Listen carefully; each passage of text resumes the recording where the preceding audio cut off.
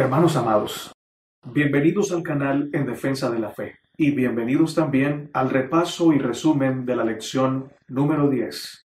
Les invito a hacer una oración. Amado Padre que estás en el cielo, gracias por darnos tu palabra. Gracias Señor porque permites que el Espíritu Santo nos guíe a toda la verdad. Ahora que vamos a estudiar este resumen de la escuela sabática, guíanos Señor y danos humildad para poner en práctica tu revelación. En el nombre de Jesús. Amén. Dios ama la unidad, porque la unidad es perfección, la unidad es fortaleza, la unidad es integridad. Donde hay unidad, sobre todo unidad en Dios, hay poder, porque hay muchas fuerzas proyectadas en una para lograr un solo objetivo, la gloria de Dios y el servicio al prójimo. En su perfección, Dios ordenó todas las cosas para que la menor de las células o el menor de los átomos tuviera íntima relación y armonía con la mayor de las galaxias. Lo más pequeño unido en armonía perfecta con lo más grande. Y es que en el reino de Dios todo es armonía, todo es perfección, hay integridad, porque la cadena de oro del amor lo mantiene todo unido en perfecto orden. En una iglesia donde hay amor, hay unidad, hay perfección, hay acuerdo. Todos se unen para hacer que Dios sea glorificado y para bendecir al prójimo. Satanás fue el gran gestor de la desunión, porque él sabe que el odio o la indiferencia, donde quiera que están, causan división, destrucción, miseria, dolor, desacuerdo. Una iglesia dividida manifiesta su desunión con la voluntad de Dios y con el amor del Creador. Donde se abre la puerta al pecado, siempre hay caos, siempre hay sufrimiento, siempre está la historia de un hermano tratando de pisotear al otro hermano, de un hermano que sabe que su hermano está sufriendo y no hace nada para ayudarlo. Algunos esbozan, estoy orando por ti. Algunos dicen, ánimo mi hermano, no se queje tanto pero no hacen nada para ayudar al que está sufriendo. Eso, mis hermanos, es una manifestación grotesca de la indiferencia que Dios no quiere que la Iglesia practique. Satanás es el autor de la indiferencia, el autor de la división, porque él odia la unidad, él odia la solidaridad entre hermanos. No quiere una iglesia que trabaje para servir, él quiere una iglesia que esté enfrascada en sus propios problemas en donde cada persona pelee por sus derechos, pelee porque no le prestan atención, pelee porque no les gustan los predicadores que el Señor pone a predicar en la iglesia. Una iglesia así no tiene tiempo para servir, no tiene tiempo para estar unida. Es más, indirectamente es una iglesia que se goza en el caos. Sin embargo, el Señor quiere ayudar a su iglesia a estar unida. Ha provisto toda revelación en su palabra para que la iglesia esté unida en Cristo Jesús. La lección de esta semana nos va a dar grandes revelaciones del Señor que nos van a ayudar a ser una iglesia unida y como individuos a ayudar a esta iglesia a seguir hacia adelante y hacia arriba en la unidad que el Señor anhela para nosotros. Una iglesia que experimenta fidelidad en los principios de Dios como resultado de su amor por el Señor, es una iglesia vencedora, es una iglesia triunfante que vence al mundo y vence al infierno. Lo contrario también es cierto, porque una iglesia que no vive los principios de Dios, una iglesia que se desune por causa de la indiferencia o el odio, es una iglesia que se convierte en servidora de Satanás, ya que está sumida en pleitos, celos, envidias y contiendas. Quiera el Señor que tu vida, ni tu iglesia, ni tu congregación estén sumidas en esta situación en la que Satanás termina siendo el gran vencedor. Hablemos un poco de la reconciliación. En ningún lugar de la Biblia se presenta a Dios como un Dios enojado contigo y conmigo, enojado con el hombre. Dios no está enojado con sus hijos. Dios no está enojado con el pecador. Dios está enojado con el pecado porque destruye lo que Él más ama, su creación. Pero, ¿cómo sabemos esto? Porque la Biblia nos dice que cuando nosotros estábamos enemistados con Dios, el Señor dio los primeros pasos, tomó la iniciativa para reconciliarse con nosotros. A través de la sangre de su Hijo, el Señor reconcilió al mundo con Él. Qué gran amor del Padre Celestial. Él toma la iniciativa, Él nos busca. A través de toda la historia de la Biblia, vemos a Dios buscando al hombre y al hombre huyendo de Dios. El que está enojado no es Dios con el hombre, sino el hombre con Dios. Pero Dios muestra su amor para con nosotros, en que siendo aún pecadores, Él envía a su Hijo para darnos vida eterna. Gracias al Señor. El espíritu de profecía dice en Patriarcas y Profetas, página 55, Cristo abrió un camino por el cual el hombre pudiera ser restaurado al favor de Dios y volver a su hogar edénico. El Señor ha abierto ese camino para que nosotros volvamos a los brazos del Padre Celestial. ¡Cuánto amor! ¡Cuánta misericordia! ¡Cuánta gracia! Este es el ejemplo que tú y yo debemos seguir en nuestras relaciones con las demás personas.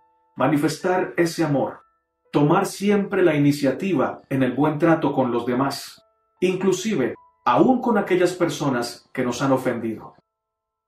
De no haber sido por el sacrificio de Cristo, hecho en la cruz del Calvario, todos los seres humanos hubiéramos experimentado los resultados inevitables del pecado. Sobre nosotros hubiera caído la ira de Dios, y en vez de caer sobre nosotros, cayó sobre el Cordero de Dios que quita el pecado del mundo. Porque de tal manera amó Dios al mundo que dio a su Hijo unigénito para que todo aquel que en él crea no se pierda, mas tenga vida eterna. El deseado de todas las gentes nos dice, aunque Dios odia profundamente el pecado, su amor por los pecadores es más profundo. No escatimó nada, por costoso que fuera, para que se efectuara la reconciliación. Deseado de todas las gentes, página 39. Esto nos sigue diciendo el deseado de todas las gentes. Cristo no murió para ganar el favor de Dios para el hombre, sino para que el hombre pudiera volver a Dios. Mis hermanos, la historia de la cruz nos muestra a un Dios dispuesto a darlo todo para salvarnos, para ayudarnos, para levantarnos del abismo del pecado. Este Dios es un ejemplo perfecto para nosotros. El verdadero Dios no es un Dios de peleas, de pleitos, de envidias, de celos o de egoísmo. El verdadero Dios es un Dios que está dispuesto a entregarse a sí mismo, a entregar su vida, a humillarse, para encontrar al hombre donde el hombre está, sacarlo del abismo y llevarlo a la patria celestial. ¿Cómo nos gusta que nos traten cuando fallamos? Ahora hagámonos otra pregunta más importante. ¿Cómo tratamos a los demás cuando fallan? En mi experiencia me doy cuenta que cuando fallo quiero que me comprendan, pero cuando alguien falla me cuesta comprender. Esto me muestra que me falta mucho para parecerme a Jesús. Sin embargo, en vez de desanimarme, quiero seguir adelante. Quiero reconocer esta falta. Quiero que Dios cambie mi corazón, que cambie mi perspectiva, que cuando alguien falle, yo no lo critique, no lo juzgue, no lo desprecie, no me declare decepcionado, sino que me declare su hermano, dispuesto a levantarlo, dispuesto a perdonarlo, dispuesto a comprenderlo. Esto es imposible para mí, porque no tengo la fuerza, no tengo la gracia, pero en Cristo todo lo puedo. Si vivo en Cristo, si reconozco mi falta en la carne, puedo ahora decidir vivir en el Espíritu y decir con el apóstol Pablo, ya no vivo yo, ahora vive Cristo en mí y comprender a mis hermanos. En vez de criticarlos y juzgarlos, ayudarlos a seguir adelante, ayudarlos como me gustaría que me comprendieran a mí cuando he fallado. El gran apóstol Pablo, un hombre de Dios, un hombre lleno del Espíritu Santo, no se libró de esta flaqueza. Un día juzgó muy duramente al joven Juan Marcos. En el concepto de Pablo, Juan Marcos no merecía andar con él y con Bernabé en la obra del ministerio. Sin embargo, hermanos, hay una gran diferencia entre nuestro juicio y el juicio del Señor. nunca nos arriesguemos a emitir un juicio sobre un joven o una jovencita o un anciano. El único que pesa las intenciones y las motivaciones del corazón es el Padre Celestial. Es el único que puede decir quién sí y quién no. Quizá Pablo tenía argumentos fuertes para catalogar a Juan Marcos como una persona débil para el ministerio. Sin embargo, el Señor capacitó de una manera tan extraordinaria a Juan Marcos que luego el apóstol Pablo cambia de opinión y recomienda a Juan Marcos como una persona útil para el ministerio. Y saben, la mayoría de estudiosos están de acuerdo en que Juan Marcos es el escritor del Evangelio de Marcos. Aquel jovencito que en alguna ocasión fue débil, fue temeroso, fue tímido quizá. Luego se convirtió en un valiente hombre, en un valiente soldado de Cristo, a quien Dios le dio el honor de escribir uno de los evangelios más hermosos de la palabra del Señor. Imagínense cuántas vidas ha tocado el Evangelio de Marcos. ¿Cuántas almas ha influenciado para el reino de los cielos? ¡Qué bendición! Por eso tú y yo nunca debemos emitir juicios sobre ninguna persona. A todos debemos tratarlos como candidatos para el reino de Dios. Dios ama de manera perfecta y total. Para la gran mayoría de personas de su tiempo, Onésimo era simplemente un esclavo, alguien insignificante quizá, pero para Dios valía tanto que el Señor estuvo dispuesto a inspirar al apóstol Pablo para escribir una carta corta pero sustanciosa, poderosa, grande en instrucciones, de muchas lecciones para su tiempo y para nuestros tiempos. La carta de Filemón. El Señor se preocupaba por la vida, por la integridad, por la salud y por el bienestar de su hijo Onésimo, así como se preocupa por ti, pero también por las personas que están a tu cargo. Qué importante es que nosotros aprendamos a tratar a las personas que trabajan a nuestro favor como el Señor quiere que los tratemos.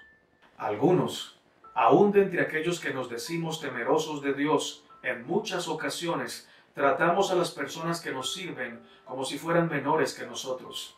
La Biblia está en contra de esto.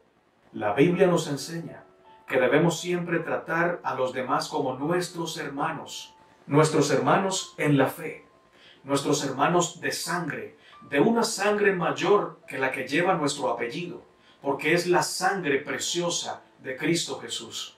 En esta lección sería muy bueno aprovechar para reflexionar cómo es nuestro trato con aquellas personas que trabajan para nosotros. Si tú eres un jefe, si eres un patrón, le estás pagando lo justo a tus trabajadores. ¿Los estás tratando como candidatos para el reino de Dios? ¿Sabes que ellos valen la sangre de Cristo y por lo tanto los tratas con ese valor? Muy importante que aprendamos a tratar a los demás como superiores a nosotros mismos, aún a aquellas personas que trabajan en nuestra casa a nuestro servicio. Con mucha tristeza te comparto esto. Conozco mujeres que trabajan muy duro en casas de familia, lavando, planchando, cocinando, aseando la casa, y sin embargo les pagan muy poco. Y más triste aún, saber que los que les pagan poco son personas que dicen temer al Señor. Que Dios tenga misericordia de todos nosotros. No digo esto para criticar, digo esto con la esperanza de crear en esos corazones algo de conciencia, porque el Señor quiere que haya un pago justo por el servicio que estas personas nos dan con tanto amor. Dios nos ayude a tener conciencia, a tratar a nuestro prójimo no como un siervo, no como un esclavo, sino como alguien superior a nosotros. Si alguien debe ser el siervo en una relación, ese debo ser yo. Yo debo ser el siervo de mi hermano y de mi hermana. Tú debes ser el siervo de tu hermano y de tu hermana. El jefe debe ser el siervo de su empleado. El empleado debe ser el siervo de su empleador. Si todos tenemos este concepto, qué diferente será nuestra relación con los demás. El Señor será glorificado y mucho del dolor que hay en el mundo hoy será menguado por la gracia del Señor. Gracias a Dios por los dones que le otorga a su pueblo. Gracias a Dios por los dones que te ha dado. Y gracias a Dios por los dones que me ha dado. La gloria siempre sea para Él. Pero saben, hay algunas personas que usan los dones del Señor para glorificarse a sí mismos. Otras personas que usan los dones de otros para exaltar a la criatura en vez de exaltar al Creador. Algunos dicen, es que mi pastor favorito es tal persona, es que mi predicador favorito se llama tal. Oh hermanos, esto no es de Dios, esto es una argucia del diablo. A él le importa que nosotros tengamos predicadores favoritos, cantantes favoritos, porque de alguna manera esto le quita la gloria al Señor y se la entrega al hombre. Y cuando el hombre siente que la gloria es de él, tiende a degradarse, porque los hombres no sabemos administrar la gloria. El único que merece la gloria es Dios, y Él siempre usa su gloria para compartirla con su creación.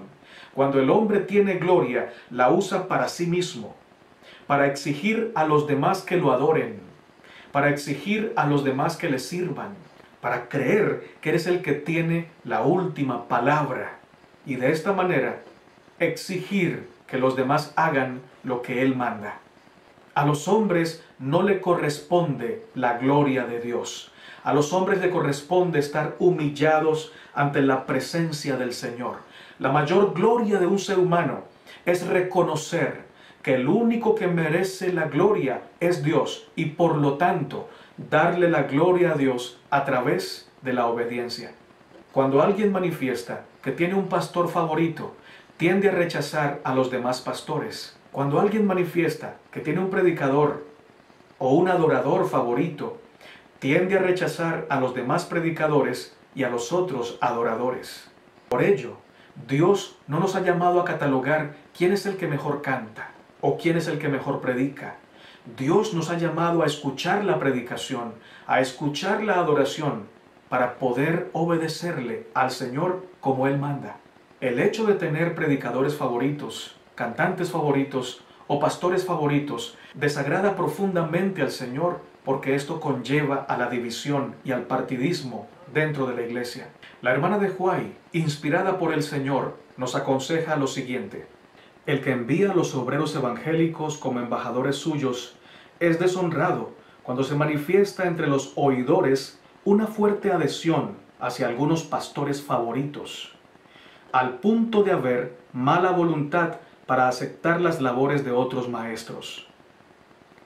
El Señor envía ayuda a sus hijos, no siempre de acuerdo con el agrado de ellos, sino según la necesitan. Porque los hombres tienen una visión limitada y no pueden discernir lo que es para su más alto bien. Es muy raro que un ministro posea todas las cualidades necesarias para perfeccionar una iglesia según todos los requerimientos del cristianismo. Por lo tanto, Dios a menudo le envía otros pastores, cada uno de los cuales posee algunas cualidades de que carecían los otros. El mismo capítulo nos da otro consejo muy valioso. Así dice, no debe haber crítica falta de bondad. No debe hacerse trizas el trabajo de otros, ni debe haber distintos partidos. Cada hombre a quien el Señor ha encomendado su mensaje tiene un trabajo específico. Cada uno tiene su propia individualidad, que no debe fundirse en la de ningún otro. Sin embargo, cada uno debe trabajar en armonía con sus hermanos. En su servicio, los obreros de Dios han de ser esencialmente uno. Ninguno ha de erigirse en modelo ni debe hablar despectivamente de sus colaboradores o tratarlos como inferiores. Qué importante es que no tengamos partidos en la iglesia. Es que no digamos, a mí me gusta como piensa tal anciano, pero me disgusta como piensa el otro. Que no digamos, cuando predica tal persona, yo voy a la iglesia, pero cuando predica otra persona, no me gusta y por lo tanto me voy para otra iglesia.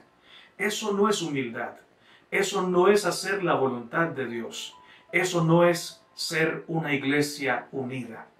hay que aceptar la voluntad de Dios. Hay que ser humildes y aprender aún de aquella persona que creemos que no es digna de predicar en el púlpito. Todo hay que dejárselo a la voluntad del Señor y aprender de cada situación. Orar para que Dios haga justicia en su pueblo, pero también orar para que Dios tenga misericordia de todas aquellas personas que no están viviendo el Evangelio o que no lo estamos viviendo.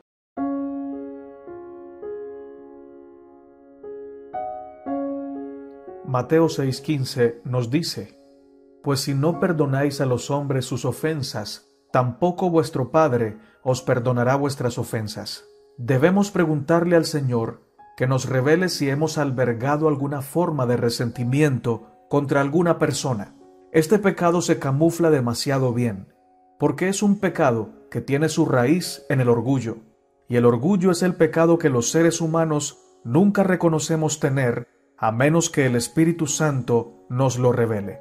Quiero presentarte varios pasajes del libro El deseado de todas las gentes. Son muy oportunos y poseen un mensaje claro y directo sobre el tema del perdón. El que toma parte en la menor injusticia está violando la ley y degradando su propia naturaleza moral. El homicidio existe primero en la mente.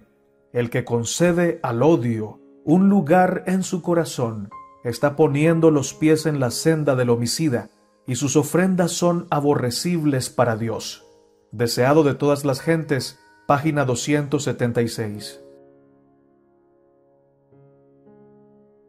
Es cierto que hay una indignación justificable aún en los seguidores de Cristo, cuando vemos que Dios es deshonrado y su servicio puesto en oprobio, cuando vemos al inocente oprimido, una justa indignación conmueve el alma, un enojo tal, nacido de una moral sensible, no es pecado, pero los que por cualquier supuesta provocación se sienten libres para ceder a la ira o al resentimiento, están abriendo el corazón a Satanás. La amargura y la animosidad deben ser desterradas del alma si queremos estar en armonía con el cielo. El Salvador fue aún más lejos que esto, y dijo, Si trajeres tu presente al altar, y allí te acordares de que tu hermano tiene algo contra ti. Deja allí tu presente delante del altar y vete.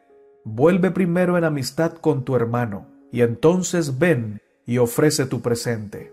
Muchos son celosos en los servicios religiosos, mientras que entre ellos y sus hermanos hay desgraciadas divergencias que podrían reparar.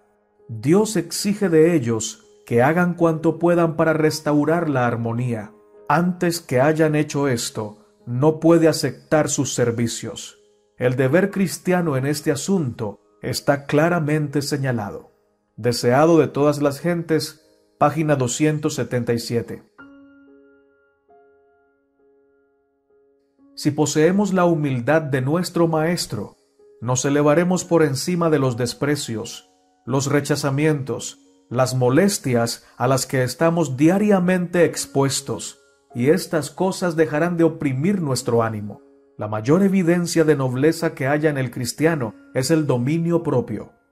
El que bajo un ultraje o la crueldad no conserva un espíritu confiado y sereno, despoja a Dios de su derecho a revelar en él su propia perfección de carácter. La humildad de corazón es la fuerza que da la victoria a los discípulos de Cristo. Es la prenda de su relación con los atrios celestiales. Deseado de todas las gentes, página 269. Así como el rencor es activo y se manifiesta en hechos negativos hacia la persona que nos ha ofendido, el amor y el perdón deben ser activos.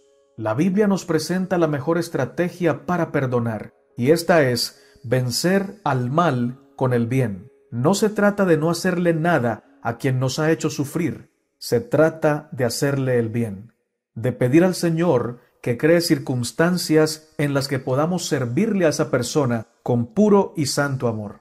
Orar pidiendo su redención, orar para que en todo le vaya bien, suplir sus necesidades en la medida de nuestras posibilidades y hacerlo con generosidad. Cada vez que obramos con amor en favor de aquellos que menos lo merecen, le estamos abriendo un mayor campo de influencia a la obra del Espíritu Santo en el corazón de esa persona. La Biblia llama a esto amontonar ascuas de fuego sobre la cabeza del ofensor, que no es otra cosa que mayor trabajo del Espíritu de Dios en la vida de ese ser humano para acercarlo a su salvación en Cristo. El fuego es uno de los símbolos de la obra del Espíritu Santo. Y cuando el apóstol Pablo dice que ascuas de fuego se amontonan sobre la cabeza de la persona que nos ha ofendido, cuando nosotros decidimos no obrar de la misma manera como ella nos ha tratado, sino obrar como Dios nos ha tratado a nosotros, entonces el Espíritu Santo, como el fuego del cielo, se amontona sobre su conciencia, haciéndolo reconocer su necesidad de Dios y su necesidad de perdón. De manera pues que es muy importante vencer al mal haciendo el bien en el nombre del Señor.